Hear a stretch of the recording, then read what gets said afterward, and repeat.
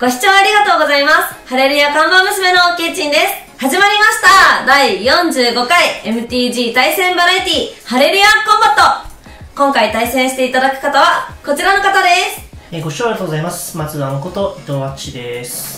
よろしくお願いしま。す。松川さんってハレルヤ退職されたと伺ったんですけれど。そう、そう、ん。これなんですけど、退職はしたんですけど、ん。まあ今回あの、ハリアの方からオファーいただいて、うん。ゲストとして出演するということで、おー、じゃあもう松川ファンの方はもう嬉しいっていう感じですね。、そうですね、まあ松田さんっていうのが、まあいればの話ですけども、今後は、もし何かこういうのがあれば、うん長期で出ら出られたらいいなと思っておりますので、よろしくお願いします。はい。さて、先週待望のドミナリアが発売されました。おーおーはい。というわけで今回のハレルヤコンバットは、ドミナリアを遊び倒そうということで、リミテッドしていこうと思います。はい。まつがんさんはリミテッドお得意ですか？いやもう、神ですね。神リケットシーンがあったらもう神。おーいやもう実は私もまつがんさんにね、リミテッドを教えてもらった生徒なんですよ。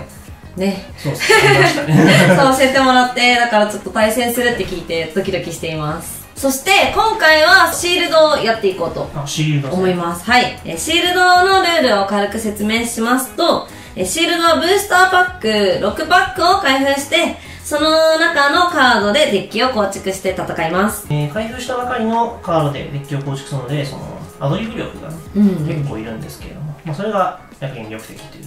はい。では早速やっていきたいと思います。はい、よろしくお願いします。はい。よろしくお願いします。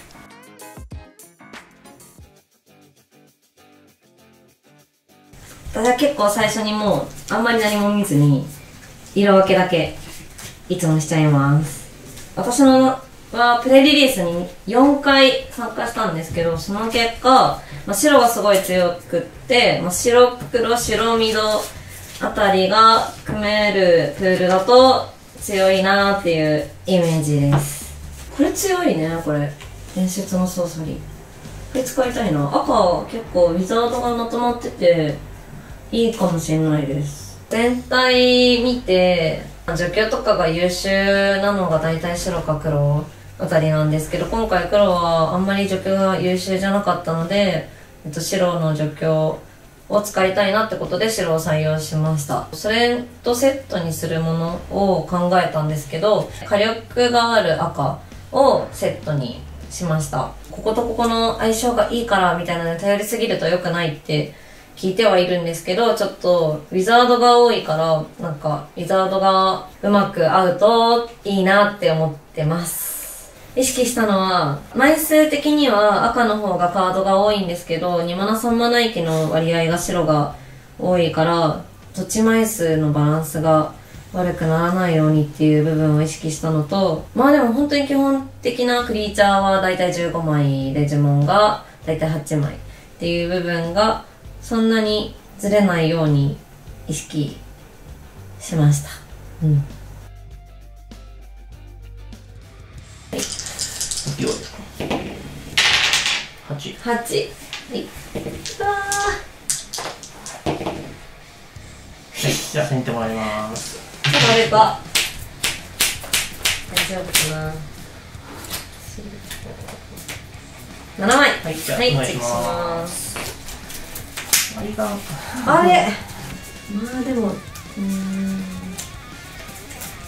いや微妙だな。マリガン。はい。しますはいゆるキープ良くないすっかりマジック、マジックプレイヤーだ。いやいやいやマジックプレイヤーみたいな。え、もう、ペイジンさんだってはい1年経ってますよね。1年経ちました。ねすっかりマジックプレイヤーになって。ゆるキープ良くないとか言ってくる。いやあのー、あったんですよゆるキープしてあゆるキープで咎められるしでもうなんかこれ勝てばいけたのにはいみたいなやつがダメだっ経験すると学びますよね。たねえはい6枚で6枚チェックしますえー、待って後悔してる。やばいキープすればよかったマジかえキープできないっすねはい。えー、はい、大体はい、はい、キープします。はいじゃあ戦術しますはい、戦術します。では、下です。上です。はい、はい、じゃあお願いしおます。願いします。はい、ドロなんだエンドです作るとランダス。えー、まあでもだいぶ先なんで。入れなくてもいいんじゃえなんか緑で、うん。あの長くなった時に、えっと、できるやつがあるんで、はいはいはいはい。なんか相手の特殊地形対策。そうです。なるほど。相手のタイミングで。この環境をやり込んでるからケイチンさんの なるほどね。や。そういう理由があるのか。そういう理由が。はいちょっと待ってエンドでとんでもないやつ出てきたなこれどうしようかな。いや2はなでもこれ普通に今の13バリエてか殴殴ってアンタップするのあそうです他のじゃないんでほぼ警戒な。のかそうですねまあでも13だからまあそこまで今は脅威ではないるほどねじゃあアンタップしてはい2飛行で終わりに2に飛行はいノンタップアップキープのドロードローンと動けないですね。3点回復はい。して23ではい。サクるとあ桜らないです。タップです。タップだけでいいのか。タップでして青とか。なるほどなるほど。これでエンドです。はい。えー予言じゃあそういうこと2点21 21おしまいではいあもらいます。ノンップアップキープの。ドまあでもこれははい。アタックで。アタック19 19でエンドではい。アタックします。どう2点はい。19終わりです。これが2に飛行で、歴史的な島は1枚書いてない。はいターンもらいはい、ます、どうぞ。ドロ来た。なんとか。警戒をはい、2回。2体。うん、2、どんまで2が2体。エンドまで行きます、はい4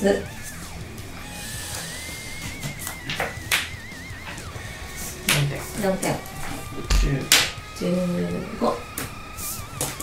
15は。いこれは先制攻撃ですね。先制攻撃で、はい一応黒、どっちかが黒のパーマネントをうんうん持ったら3人になるんですけど、あーはいはいまあ多分ないでしょう。はいで一応、まあ、黒い呪文からも対象にはならないんですけど、はいまあ多分ないでしょう。ターンもらいますはい。ドロー4マナはい。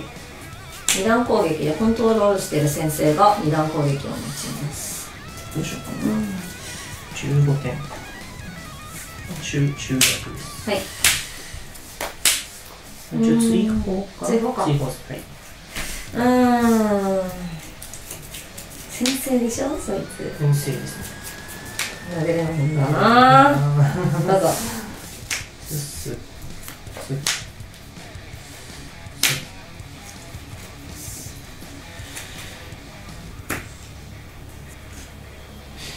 プラニ、プラニ先生攻撃うわの騎士です。はい6点。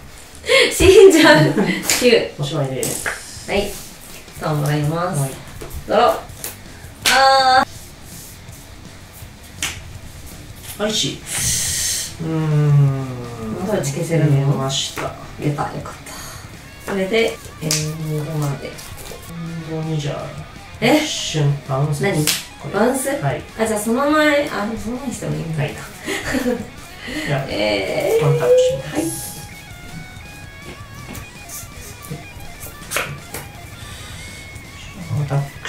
て、取ったら、えー、出たプラ一と、破壊不能。あー出た。これ負けもと6点、ん。7、8点、10点です。はい。はい。負けた。え早っ。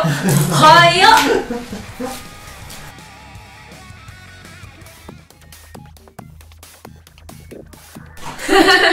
どっち引けば。まあまあ、まあまあ、弾けたらいいな。弾けるでしょう。いけるでしょ祈りの、祈りの。お願いしますドランドエンドはいです。あミスったあミスった赤赤がある。え違うこれこれ先に出さなきゃいけなかったラチン今普通にミスったああその顔やはり入れ損だもんな。今ここしか見てなかったからあつってあダメだはい。はい。普通にミスったああ、止められる。あ、ちょっと待ってもう一回。どうぞ。はい。はい。はい。終わりです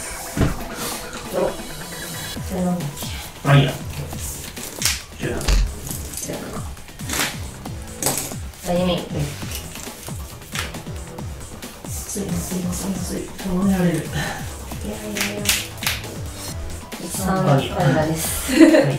どうぞ。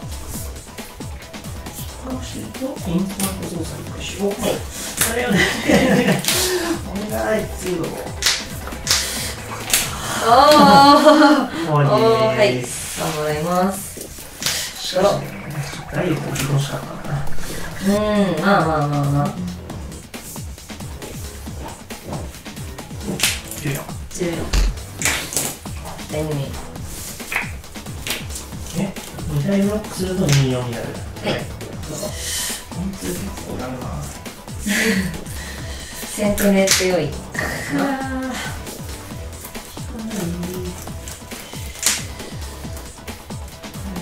かなはい、よし、報酬しうん報酬はい、22でい。です。はい。頑張りますパパキープのえー、ちひでしお、来た。マジか。うーん。ね。そうですね。うんうんコンバットドリルみたいな盤面なんここがどっちかでプラス3トランプすごいこんなパターンか46になって。ではい、片方倒した。で、4点する。ではい、10で点。ここが1はい。プラス3トランプ。すげえ。で残り1でどうぞコンバットドリルなのか。私のブロックもコンバットドリル。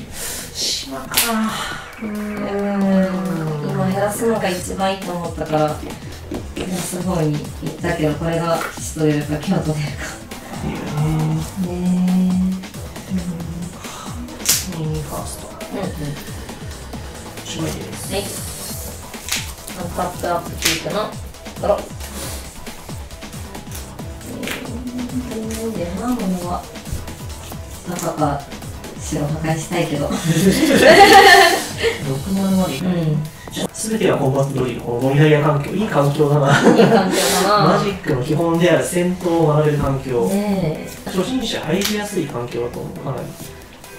そっか、でもいや本当にでも今回すっごい楽しくって、なんか2日目？プレーリの2日目、はい2部だけの予定だったんですけど、普通に朝大学起きていくっていう、楽しすぎて。楽しすぎて。すごい。この環境はね、うん。基本がすごい学べる環境。ね青がちょっと怖いんですよね中略とか持ってたら嫌なんですけど、うん。まあ、それはね、基本の木ですねね。この木ですね。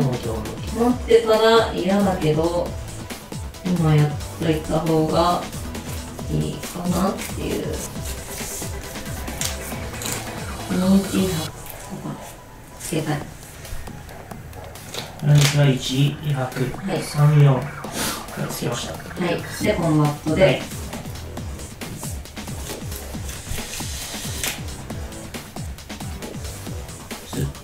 そしたらこっち先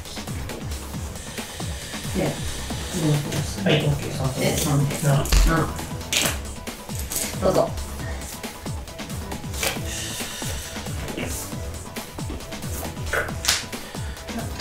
あたか。あやったか。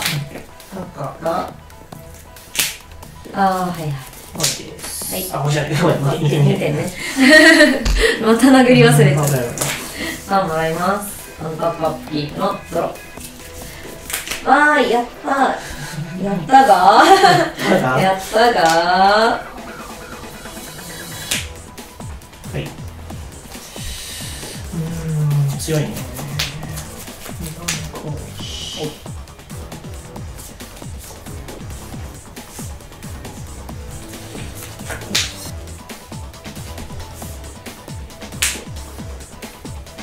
禁止的な呪文を唱えたらコストが1少なくなるかなアーティファクト伝説の技術は伝説の忍者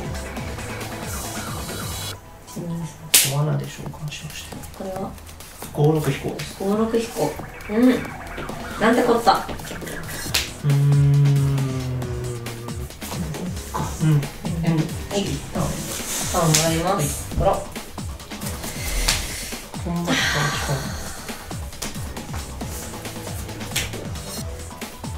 機上手になります。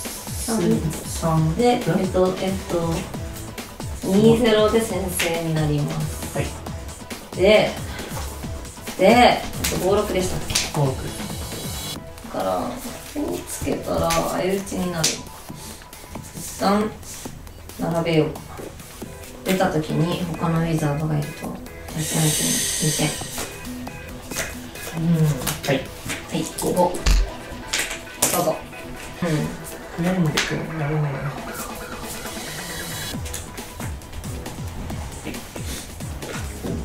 今は偵察機ではい本地形を探してはいおきます。いい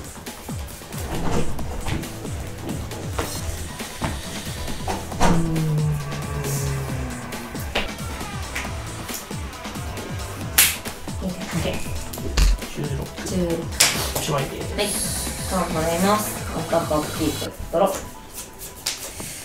三マナの装備先を考はい。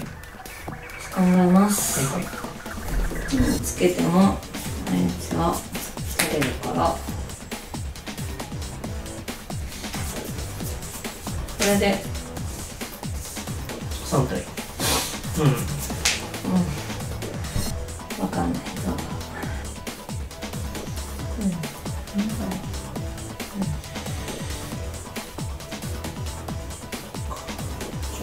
ブロックします。順番に決めてください。はい、えっと、ここはその毎日で、えー、っと、ここが飛行の方これ飛行じゃない。飛行じゃないこれ二二展開。あーそうか飛行なんだ一バッタじゃないですね。えー、と、こっちで、何点取りますか？これは？バランス。バウンス。えーと。えー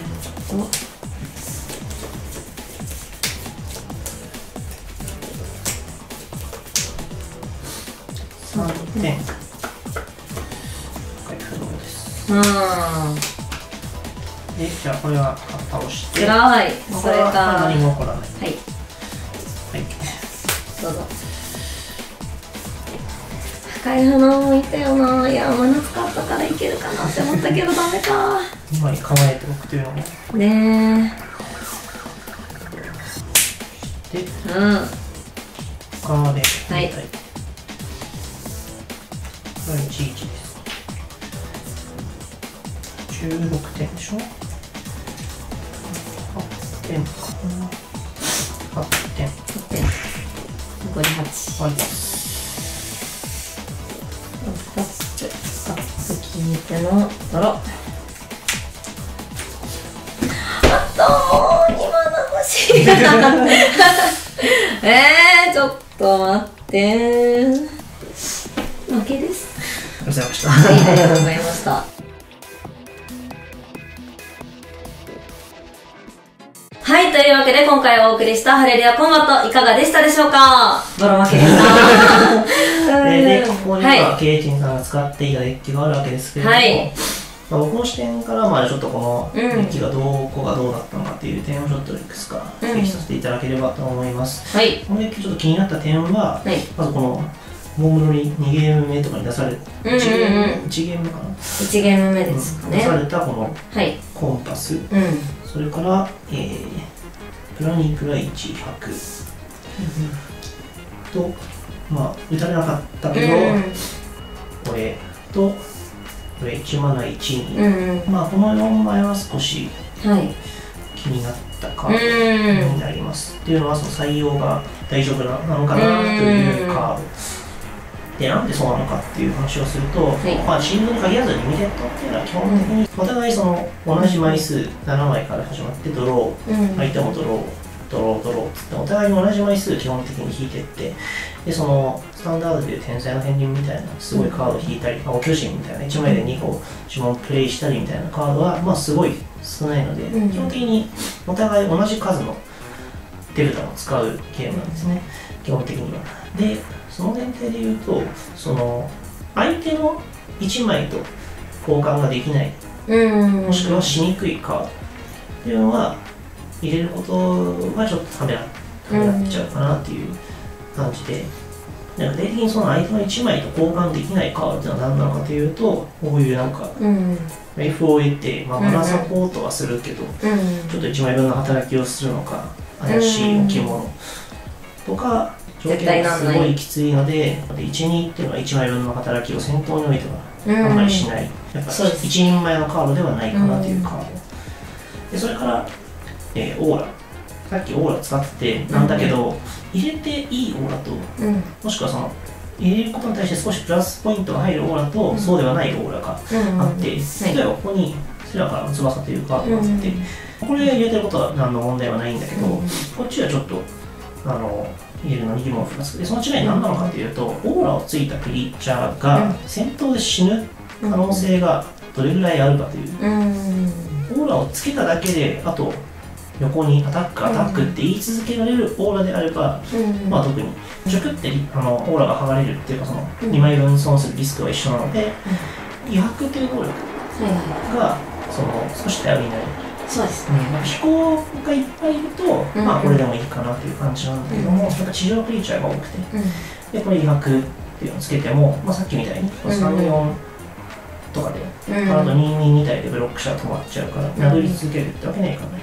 のであのオーラがついたクリーチャーが殴り続けられないうん、オーラなので、まあ、これは少し疑問。もしこれがこっちだったらもう天使が完成みたいな感じになるから、まあこれはちょっと1枚分の働きが怪しいかなというカード、で、まあ、これこれもまあ。使いたくなるのは分かるが、まあ、3枚は少し怪しい、まあ、ただうん、これはこの3枚と違って、うん。まあ、入れててもそんなに文句はないというか、うん。まあ、確かに打ったら勝ちなので、うん、まあ十分なリターンはあると、うん、なのでまあギリギリありかなぐらいか。な、3枚？3枚だけどまあ気をつけてればそのプレイできる。本当にある時はその、こいつらをうん、プレイあのコンバットって死なせないようにするだけの話なので、まあまあありかなという感じ。こうなった時にちょっとその白がうん、若干頼りないうん、白いカードで、まあ確かにこれとこれうん、は強くて、まあ、これも強いんだけど、まあ、ほぼ実質クリーチャーは白の価値があんまりなくて、うん、まあ、スペル3枚は強いけどうん、じゃあその白だけタッチでいいんじゃないかなみたいなそのデッキの中の2色目になってる役割が意外と小さいんじゃないかなという視点にたどり着いたら、んじゃあもっと他の色はないだろうかっていう感じになって、まあ、このカードプールだと、まあ、青。うん、を使ってみてもよかったかな。で特にそのラフキャパシェン。うん、うん、こうちょっとおじさん大歓喜のカードなんだけど強い。ラフキャパシェンとか、まあ、スフィンクスとか、うん、まあ、あと一応こいこいつもな殴り続けることができる。そうですね。まあ、壁でありながら、うん。あとここいつはまあ結構入れてもいい説がある当ね655トランプルあ、それ入れてました、メインで。あペンで入れてない、はい相手は飛行だからねみたいな。あそうです。た正しい。ありがとうございマジッます。クがうまい。いやいやいやいや。いや。まあ2色目の役割みたいな、うん。まあ、一番大事なのはその1枚でうん、役に立たないカードはなるべく入れない方がいいう。う、ん、やっぱこれは俺はね。どうなんだろう。自分のデッキじゃなくて相手に依存するカードうん。がサイドボールでいいんじゃないかなっていう。まあそれくらいかな、うん、まあ、一人前のカードをデッキに入れようという。うん。いやー、わかりやすかった。カードと交換をしよう。うんうんうん。いやーだってそれ教えてもらいながら書きましたもんね。改めてねシールドの初心に戻るという。そうですね。うん。ちなみに現在大隅和尚の MTG ルール駆け込み寺という初心者向けの、えー動画をやっています。ぜひそちらもご覧になっていただけると嬉しいですこの動画や駆け込み寺の動画が良かったと思う方はぜひチャンネル登録よろしくお願いします。では今回はこの辺でご視聴ありがとうございました。ありがとうございました。